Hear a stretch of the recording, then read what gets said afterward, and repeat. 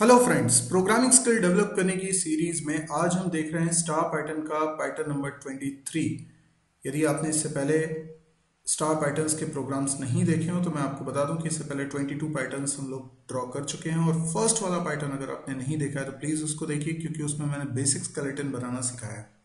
ये सारे के सारे पैटर्न्स हम एक ही तरीके से, एक ही लॉजिक से बना रहे हैं और इसीलिए ये खास है। तो अगर आपने नहीं देखा है तो फ़र्स्ट वीडियो ज़रूर देखें, जिसमें वो बेसिक स्केलेटन कैसे बनाते हैं, उसके बारे में बताया गया है। चार स्टेप में हम लोग प्रोग्राम बना सकते हैं। पहली स्टेप है, आप डायग्राम को अपनी कॉपी पर ड्रॉ कर लीजिए, और उसके बाद उसमें हॉरिजॉन्टल और वर्टिकल लाइंस भी ड्रॉ कर लीजिए। ये मैं इसमें लाइंस ड्रॉ कर रहा हूँ, जैसे ये हॉरिजॉन्टल लाइंस ड्रॉ कर रहा हूँ। इस तरीके से आप हॉरिजॉन्टल और वर्टिकल लाइंस ड्रॉ करके ये पता कर लीजिए कि इसमें कितनी रोज़ हैं, ठीक है? तो ये फ़र्स्ट रो है सेकंड है third fourth fifth and six और इसी तरीके से आप वर्टिकली भी ड्रॉ कर लीजिए और पता लगाइए कि कितने कॉलम्स हैं। So this is one this is two this is three four five and six six columns है इसमें। अब सेकंड स्टेप आपको क्या करनी है? आई और जे की वही वैल्यूज़ लिखनी है जिसके लिए आपको कैरेक्टर प्रिंट कराना है। तो हम थोड़ा सा प्रोग्राम लिख लेते हैं बेसिक स्केलेटन बनाना शुरू कर देते हैं। हम सबसे पहले लिखते हैं मेन मेन के बाद करली ब्रैकेट इसके अंदर वेरिएबल्स बनाता हूँ। आई और जे जो रोज एंड कॉलम्स के लिए हैं देन फॉर लूप आई की वैल्यूज़ वन से लेकर सिक्स तक। जैसा कि हमने सिक्स रोज लिखी थी। आई प्लस प्लस देन एक और लूप जो जे की वैल्यू वन से लेकर J less than equal to ये भी सिक्स तक चलेगा क्योंकि ये कॉलम्स के लिए चल रहा है और कॉलम भी सिक्स है। इसके अंदर हम लिखेंगे एक इफ़ अगर कंडीशन ट्रू होती है तो प्रिंट करा देंगे स्टार स्टार क्यों लिख रहा हूँ मैं अभी? वन ज़ीरो क्यों नहीं लिख रहा हूँ?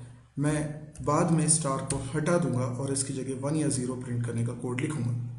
फ़िलहाल शेप पे हम फोकस कर रहे हैं। बाद में उसमें कैरेक्टर्स पे फोकस करेंगे कि क्या कैरेक्टर्स हमें दिखाने हैं। बची हुई जगह पे सब जगह स्पेस प्रिंट हो जाए। देन इस फॉर लूप के एंड होने पर, यानी एक लाइन के प्रिंट हो जाने पर, हम लोग लाइन को करेंगे चेंज ठीक? तो ये हमारा बन गया बेसिक स्केलेटन अब हम लोग देखते हैं स्टेप नंबर टू क्या करनी है। स्टेप नंबर टू में हम वो वैल्यूज़ लिखेंगे आई और जे की, जिस पर हमें वन ज़ीरो प्रिंट करवाना है। तो हमने देखा आई की value one two three four five six तक है। अब आई की वैल्यू वन पे हम चाहते हैं जे की वैल्यू वन रहे। आई की वैल्यू टू पे हम चाहते हैं वन टू फिर one two three one two three four one two three four five and one two three four five six यानी कि हमें पता चल गया आई और जे की किन किन वैल्यूज़ पे हम लोगों को स्टार देखना है। अब स्टेप नंबर थ्री देखिए, इसमें फिर से आई और जे की वैल्यूज़ इसी प्रकार से लिखेंगे।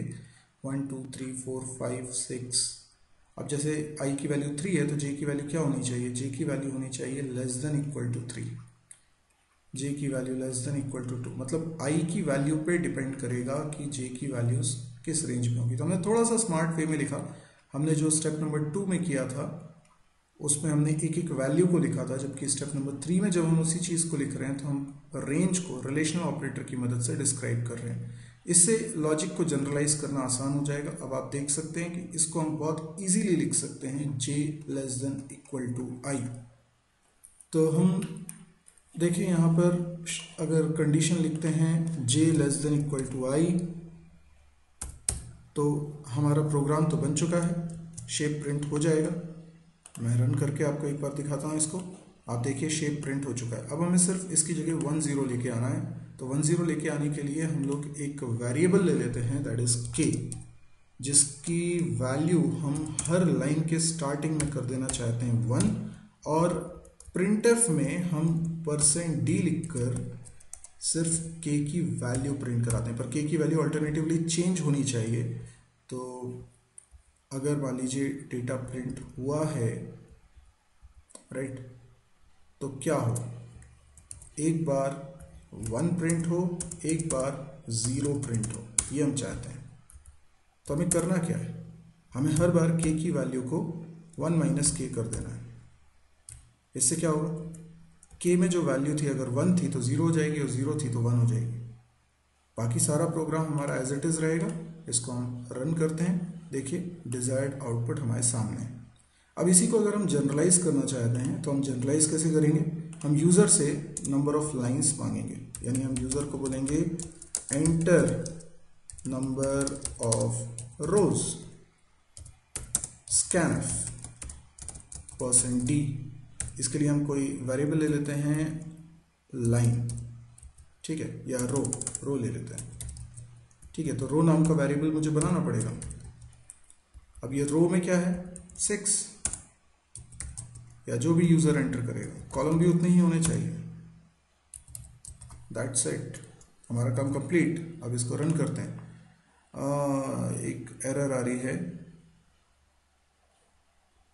यहाँ पर मैंने सेमी कोलन नहीं लगाया ओके चलिए फिर से रन करता हूँ। ये रन हो गया। अब वो पूछ रहा है एंटर नंबर ऑफ़ रोज मैंने कहा कि टेन रोज मैं देखना चाहता हूँ। तो आप देखिए टेन रोज तक का शेप प्रिंट हो गया। अब यदि आपको ये वीडियो पसंद आया तो आप इसे लाइक करिए। यदि आपको लगता है इस तरह के और वीडियोस देखने में आप इंटरेस्टेड हैं तो इस चैनल को भी सब्सक्राइब करिए। इसके अलावा मेरी एक वेबसाइट है www.mysurgery.com क्योंकि मेरे यूट्यूब पे एक से ज़्यादा चैनल्स हैं और बहुत सारे वीडियोस हो सकता है आपने नहीं देखे हों तो आप इस साइट पे आइए। सारे वीडियोस यहाँ पर प्रॉपर सिस्टमेटिक फॉर्मेट में रखे हुए हैं। यानी C C plus plus Java P H P MySQL data structure D B M S इन कोर्सेज के अलग अलग आपको वीडियोस दिख जाएँगे इजीली और सिस्टमेटिकली एक सीक्वेंस में दिख जाएँगे जिससे कि आपको क्या ऑर्डर फॉलो करना है, उनको व्यू करने का वो भी समझ में आ जाएगा। कैंपस प्रिपरेशन से रिलेटेड वीडियोज़ भी हैं और प्रोग्रामिंग स्किल को डेवलप करने के लिए एक्सरसाइज और उनके सोल्यूशन भी हैं। इसके अलावा भी बहुत सारा कंटेंट इस साइट पे है और डेली इसमें नया कंटेंट अपलोड हो जाता है तो आप इसको रेगुलरली विज़िट करते रहिए। सारे के सारे वीडियोस सारा कंटेंट हिंदी में है और फ्री ऑफ़ कॉस्ट है। तो यदि आपको लगे कि वर्थ है और बहुत लोगों के काम आ सकता है तो प्लीज़ इसको शेयर भी करिएगा। जितना ज़्यादा हो सकता है शेयर करिए। अपने फेसबुक वॉल पे इस साइट का लिंक अपलोड करिए या फिर आप इस वीडियो का लिंक भी अपलोड कर सकते हैं। Thank you